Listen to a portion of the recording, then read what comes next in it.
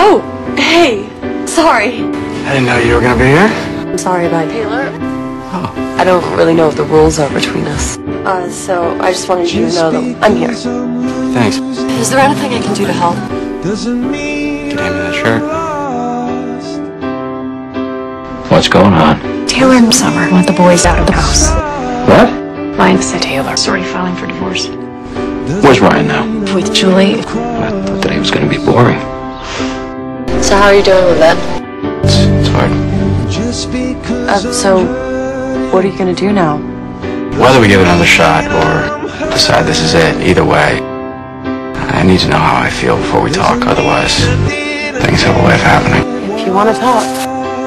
the choice you make now is going to affect your future. What are you going to do? You really think someone's gonna want to talk to me after what I did to her? You're not gonna give up. It's too late.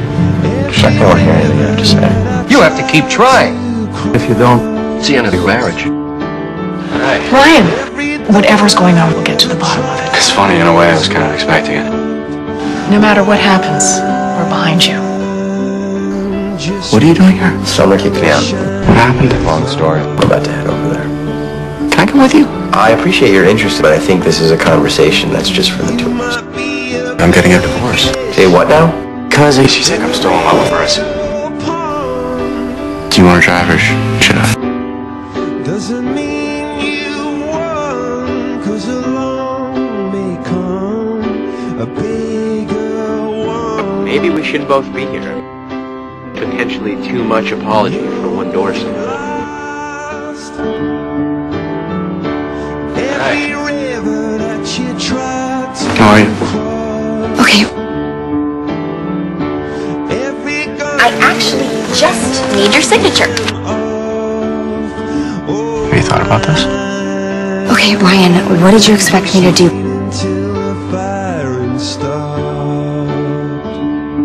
I don't have a choice. Yeah, you should go. Just waiting till the shine wears off. I was out of my mind with exhaustion and grief. I made a mistake. I will fix it. I'm sorry. No! You always do this. Oh, but don't you think? What? I am done waiting for you. Do you understand me? I'm done. Hey! She told me flat out she didn't want to see me. So, I'm sorry. You okay? Probably for the best. Till honestly, the worst part was realizing it's possible to do it with somebody else. I mean, after all the things that you feel and say, that it's possible just to go and do it all over again with somebody else. Yeah. just waiting till It's just uh, strange the things you still think about years later. I just I like the idea of getting lost but ending up where you're supposed to be. Me too.